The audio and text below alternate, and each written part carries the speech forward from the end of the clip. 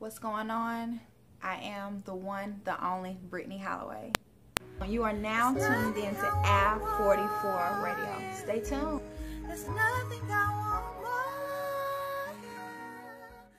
Ave 44 is like a place to go hang out. Like everything that we talk about on the radio show is like real conversations that people have, whether it's in their homes, on the streets, or anywhere. We just have just like real conversations what I like about it is how um, we uplift people. Like anything great that they're doing, we definitely want to hear about it. Whether it's graduating, whether it's cookouts, whether it's summer um, camps, or whether it's just good music. Like we really want to hear about it. That's what I love about it. It's just a place of passion and only positive vibes, nothing negative.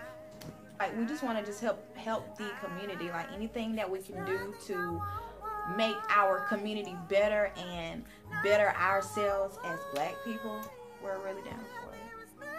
What kind of artist is Brittany Holloway? I am a very creative artist.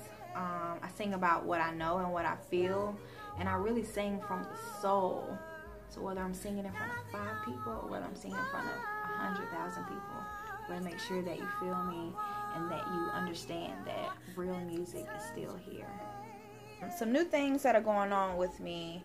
I have a photo shoot coming up very, very, very soon. I have a new single that's coming out. It's going to be called Diamond Girl. It's going to be a summer, summer hit. I can't wait for you guys to see it. Um, I actually have a show August 13th. It's, it is in Greenville, South Carolina. We're actually doing it for the kids, just, just to kind of bring them out back to school, giving away a lot of stuff, including book bags, 1,500 book bags.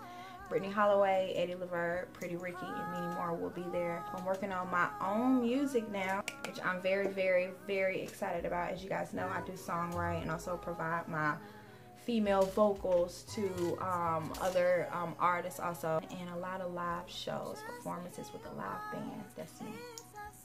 I like a lot of new artists now, and old school too, like uh, Whitney Houston. That um, I